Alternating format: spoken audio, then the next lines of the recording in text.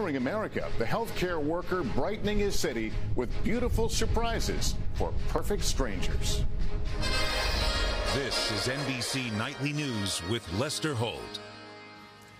Good evening. Heralded as one of our most dining outside at a restaurant with friends from multiple households. And though the agency says the vaccinated should still wear a mask at large outdoor gatherings like a baseball game or a concert, the risk is low.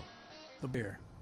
If you're vaccinated, you can do more things more safely, both outdoors as well as indoors.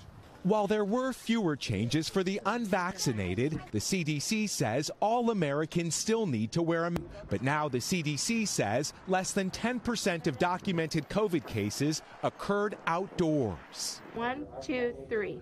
With 37% of all adults fully vaccinated, the CDC hopes the new guidelines encourage recommendation to be made. So there's both a change in the science and a, and a change in where we are with this pandemic and where we are in getting the country vaccinated. Um, we know from science that uh, less than 10% of cases of COVID 19 have been occurring outdoors. There is transmission. People are gathering uh, near one another. They're, they're coming less than six feet apart. And we know that this virus um, can trick us. So we want to be very careful for people who are unvaccinated. You're also encouraging uh, folks, even vaccinated, more guidance. It feels like a lot of the excitement around today's announcement has to do with the mask, but I, but I feel like you were also making a point about the shots, the vaccines themselves. Have they proven in real world experience to be more effective than, than you imagined? They're working. See, And the battle over body cam video heads to court. Let's get more now from Kerry Sanders. Tonight, the town council in Elizabeth City, North Carolina, releasing this surveillance video as the Pasquotank SWAT team converged on Andrew. American families that President Biden will call for in tomorrow night's speech to Congress. Peter Alexander is at the White House for us. Peter, what's in the plan? Yeah, Lester, good evening. The White House is dubbing its latest proposal the American Families Plan with a nearly $2 trillion price. Here's Andrea Mitchell. Congratulations, Mr. President. President Biden promised to reach out to allies and punish adversaries. Good afternoon. What's the record show at the 100 day mark? As protesters chat, and he's warning Putin against threatening Ukraine. Still, he's invited Putin to a summit in a third country, possibly this summer. He's testing the Biden administration, and then he gets rewarded by having a summit. And so that, I think, uh, encourages distancing and vaccines for staff and campers. Since many kids can't get a shot yet, masks are recommended, even outdoors. We're seeing obesity cases rising, we're seeing mental health issues rising, and we are very hopeful that camp can really be the antidote. They were spread out. They'll also continue daily temperature checks and symptom questionnaires. And per CDC guidance, all activities, including meals and arts and crafts, will be outside. To stop the spread of an outbreak, campers will be assigned to a pod. So while one pod is here, it is sane. All right, Stephanie, for folks trying to time this, when might prices start going down? Lester, it could be a while. Experts don't compare this to the 2008 housing bubble. It's very different.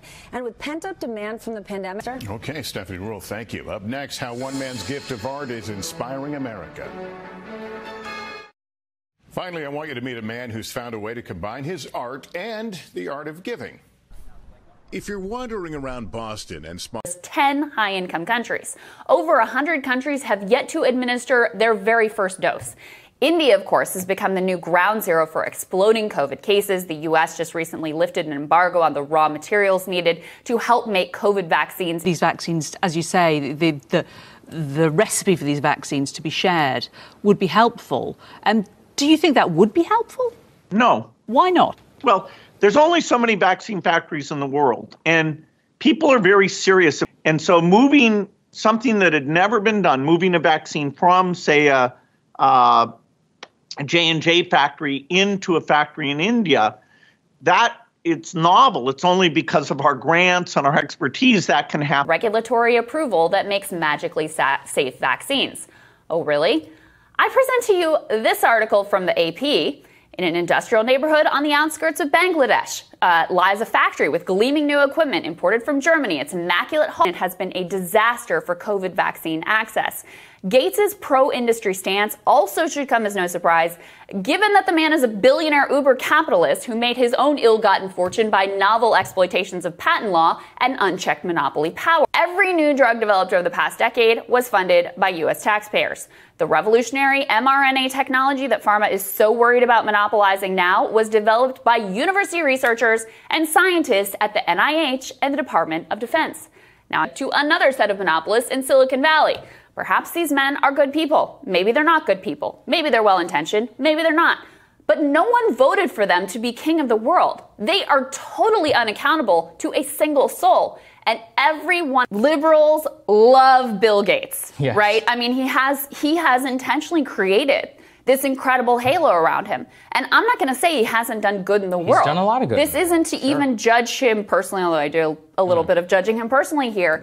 That it has nothing to do with supply. I mean, that is just such a provably false absurdity. No, it's true. And it's because the Gates people, the Gates Foundation and more are deeply tied in with the pharma industry. And I've all, you know, what really puzzles me about this is if he's true to his word, then lives of people. So, like, I don't want to say that that's not the case. But it is a broader question. There's a new controversy. I don't know if you guys know about this, where Gates is funding research in order to literally dull the sun, in order to try and affect greenhouse gas emissions. Controversial technology called solar geoengineering. This is all in popular mechanics. You can go look it up. I'm not a conspiracy It's not theorist. some weird Gates conspiracy. Here's the problem. Who decides? That sounds like something we should maybe all have a consensus around the World Health Organization wanted to. Like you can launch whatever the hell you want up into space. Like seriously. I mean there's not really any a lot of governing bodies around this stuff and pretty much any government, you know, in the third world or whatever let you do anything you want for 60 million dollars. So is that something you want to allow? And this is about power, which is exaggerating, but I'm also not because Right. it's It actually possible. Like, I mean, it sounds Yeah. like the plot of like a bad Austin Powers Yeah, movie, except where like the true, villain but, is like- like going to single-handedly dim the sun Yeah. for the entire planet,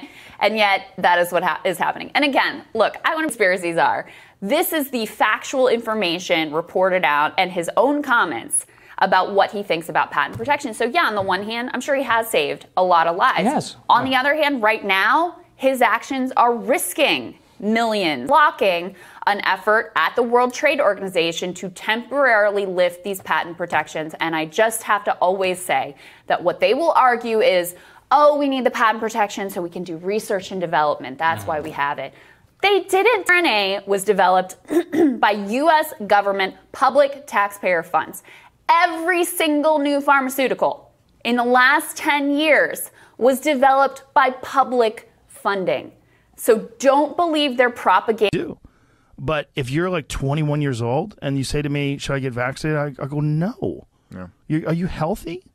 Are you a healthy person? Like, look, don't do anything stupid, but you should take care of yourself. You Yeah. should, if you're if you're a healthy person and you're ex about this. Tim and his guys later talking about people showing off that they got vaccinated, calling it virtue signaling. You know, a lot of it kind of played into a common piece of misinformation regarding COVID 19, which is that it's no big deal for young people. And while, yes, a a young person might not be impacted the same way that it's going to affect an 80 year old, right? 25 to 44 died of COVID 19. But also, I think one of the frustrating things for a lot of people with Rogan on this topic is, is the kind of the selfish nature of this argument. Right? When you get vaccinated, yes, one of the main things is protecting you, but also to protect others and slow the spread to people that were 21 years old. I mean, he's talking about people of age already approved to get the vaccine in the United States. And so a lot of people had issue with Joe Rogan with uh, the huge platform that he has telling young people not to get vaccinated. And so in addition to everyday people having the reactions that they did, you also saw people really burning bodies in the street while people like Joe Rogan encourage people not to vaccinate. Others saying the people who watch Joe Rogan's show are the people we desperately need to vaccinate in order to speed up the end of the pandemic. Joe isn't just endangering their lives, he's endangering the rest of us too. And arguing, if you're honestly wondering whether or not Photoshop into a picture of a lab coat, we actually saw the likes of Dr. Anthony Fauci responding to Rogan with him hearing that quote and saying, Well, that's incorrect, Savannah. And the reason why is that's you're talking about yourself in a vacuum then. You're worried about yourself, get infect someone else who might infect someone who really could have a problem with a severe outcome. And ultimately, as far as my opinion on this topic, I think like a lot of people, I think back to that Bill Burr clip when, when Joe Rogan was trying to egg him on about mask wearing. Walk down the street with a mask on. Shit, I'm not going to sit here with no medical degree, listening to you with no medical degree, with an American flag behind you, smoking a cigar, acting like we know what's up.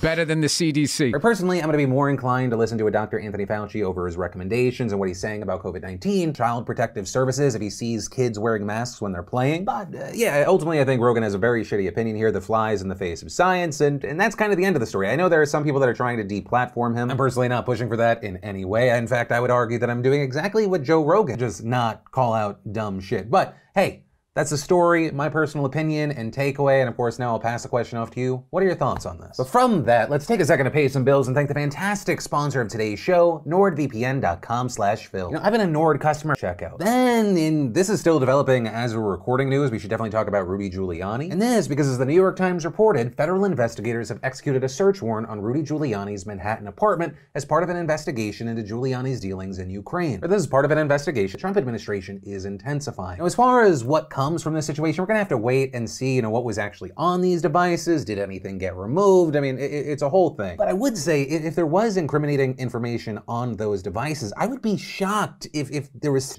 And so over the weekend, a number of notable Republicans began jumping on this story, including RNC Chair Ronna McDaniel and Arkansas Senator Tom Cotton, who tweeted, Now they're forcing taxpayers to buy Kamala Harris's book to give to those illegal immigrants? But as it turns out, this story was complete ordered to write in which I failed to push back hard enough against was my breaking point. But even with her claim there, you had a lot of people saying that fell short, with some responses like, so she drew the line after she fabricated a story, it went viral and has yet to be retracted. Interesting how that seems Laura should have just refused to write it. Consider somebody else would have, and they might have punished or fired her, and we might never have known. If you've already convinced yourself you can function within the Murdoch ethos, or lack thereof, you eventually have two choices. Keep selling your soul and doing the wrong thing, or stop. I always think we should encourage and reward. Uh, she is telling the truth. She is trying to do the right thing. Where do you land in that camp of she's doing the right thing now, but she should have never done the article? Uh, any and all thoughts, I'd love to know. And then let's talk about President Biden officially unveiling the $1.8 trillion American Families Plan this morning. It's this billion dollars for free universal preschool for all three and four year olds, reduce the cost of childcare for low and middle income families, allocate $109 billion for two years of free community college, including for non citizen immigrants brought to the United States as children, aka Dreamers, $1,400 in CARE Act premiums, tax credits, and the child tax credit aimed at fighting child poverty. Now, notably, uh, according to the official fact sheet detailing the plan, those tax cuts will be 800 billion of the final price tag, but that still leaves $1 trillion in new spending. And as far as how that will be financed, Biden is proposing it would actually just restore the top bracket to what it was before Trump's 2017 tax law. He has also proposed raising the capital gains and dividend tax rates for those who earn more than $1 million a year, beefing up IRS enforcement, and closing other tax loopholes that benefit wealthy Americans and large corporations, including a ya no se debe utilizar la máscara. Eso es lo que yo pienso. Y es precisamente el alivio que las autoridades de salud les han dado a las personas que están completamente vacunadas. Pueden no utilizar el cubrebocas si hacen ejercicio en el exterior, acudir a cualquier manera. Rubén Pereira, hoy día, Noticias Telemundo. Gracias a Rubén Pereira. Y ahora, Nacho, nos ocupamos del tema de la inmigración porque el gobierno le declara la guerra a los coyotes y anuncia una operación que incluye sanciones como la... Las redes de coyotes que lucran con los sueños de las personas. Prohíben las redadas de ICE en los tribunales. Esto es importante porque así lo ordenó la actual administración a las agencias migratorias para garantizar que cualquier A los alumnos y a los maestros. Claro está, todo en contra de las recomendaciones de todas absolutamente todas las autoridades sanitarias médicas, no solamente de Estados Unidos, sino del planeta entero, incluido los CDC de la Unión Americana. Martín Berlanga tiene más. El año enviaron un correo electrónico a los padres de familia esta semana, pidiendo a quienes no hayan recibido la que llaman una inyección experimental del COVID-19 que esperen hasta el final del año escolar. La razón que da la escuela es que no están 100% seguros de que las inyecciones del COVID... Cerca, en el mismo cuarto, de otra persona que no tiene la vacuna, la otra persona va a perder la capacidad de tener hijos. Eso es absurdo. En la carta dice que han recomendado a todos los profesores y al personal que posterguen la inyección hasta que haya más investigaciones conspiratorias. El sindicato de maestros dijo lamentar que eso le sucediera a profesores que no están afiliados. A quienes trabajan en este colegio y se pusieron la vacuna, la escuela les pidió que lo notificaran y mantuvieran la distancia física de los estudiantes. Expertos laborales aclaran que es difícil de comprobarlo para nosotros como periodistas, ya que contrataron a dos guardias de seguridad para impedir que nos acercáramos. Guardias armados nos empujaron cuando intentamos obtener respuestas de padres de familia. Sin embargo, un hombre que se identificó como Fabio regresó minutos después y dijo que tenía dos hijos que estudiaban. Se les prohíbe hablar sobre la academia... Martín Berlanga, hoy día, Noticias Telemundo. Martín, muchas gracias por esta información. Hoy día, el presidente Joe Biden hablará por primera vez ante el Congreso, un discurso que Estabas primero porque los presidentes en el pasado solían dar este discurso en febrero, ahora se retrasó por la pandemia y justo por la pandemia tendrá menos asistentes, nos dicen serán cerca de 200 los invitados que podrán entrar y no más de 1500 como suele. Si dan un evento de esta naturaleza, estamos hablando de la vicepresidenta Kamala Harris y de la presidenta de la Cámara de Representantes Nancy Pelosi. La Casa Blanca asegura que el presidente Biden está personalmente muy encargado de redactar este discurso, un discurso que va a revisar. Cientos, más de 200 millones de dosis aplicadas. Realmente ha sido una, un manejo exitoso, bien manejado, a pesar de las presiones que él tenía al empezar la presidencia y las cosas que se habían dejado atrás.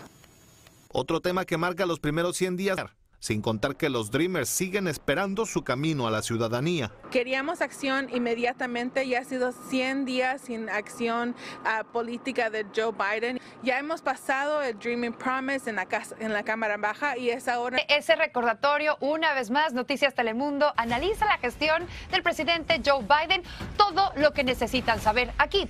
Mensaje a la nación a las 9 pm hora del Este, 6 pm hora del Pacífico.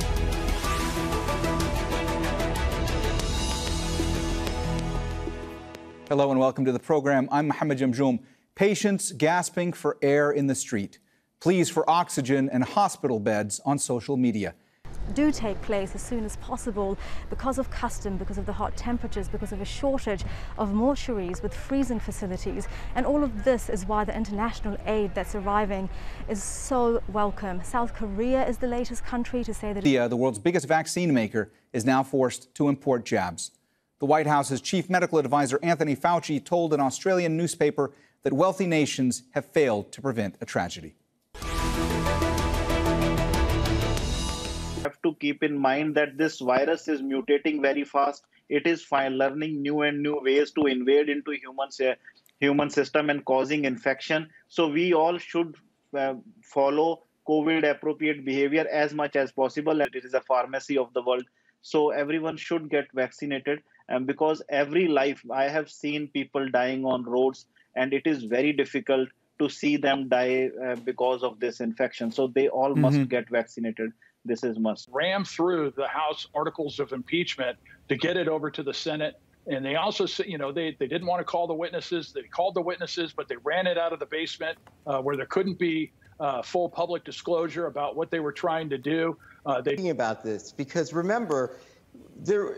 What is the what are what is the FBI? What's the Justice Department? Are they looking for something more than the allegations that existed in connection with the Senate, Senate in, impeachment trial, mm-hmm. right? Are they going? Stories would not have been blocked by Twitter. Uh, New York right. Post would not have been forced to take it down. It, it's very political. Uh, it seems so political in yeah. nature. Yeah. You know, Bob and yeah. Hunter Biden is under investigation right now, though, for taxes. Uh, there's a tax investigation going on, so yeah. at least that's happening.